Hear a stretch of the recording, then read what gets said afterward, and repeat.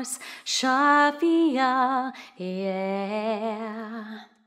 One happy birthday dot com.